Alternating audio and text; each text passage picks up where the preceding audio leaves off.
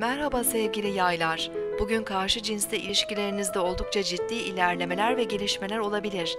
Bu kişilere kendinizi daha rahat ifade edebildiğinizi görebilir, programlarınızda kendilerine daha çok yer verebilirsiniz.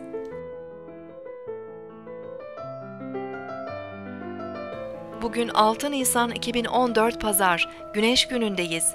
Yengeç burcunda ilerleyen ay duygularımızı yoğunlaştırırken yakınlarımız, ailemiz, evimiz ve güvenliğimizle ilgili hassasiyetleri arttırıyor. Bugün evde daha fazla zaman geçirebilir, yakınlarımız ve ailemizle ilgilenebiliriz. Öğleden sonraki saatlerde ay Jüpiter'le kavuşup Uranüs ve Plüton'la sert görünümler yapacak. Manevi değerlerimizle ilgili duygusal baskı, huzursuzluk ve stres hissedebiliriz. Güvenlik ihtiyacımız yoğunlaşırken tepkilerimizi kontrol etmemiz de daha zor olabilir.